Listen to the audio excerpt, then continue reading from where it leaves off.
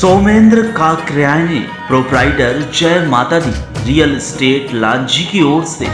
समस्त देश प्रदेश व जिले वासियों को होली की हार्दिक हार्दिक शुभकामनाएं एवं बधाई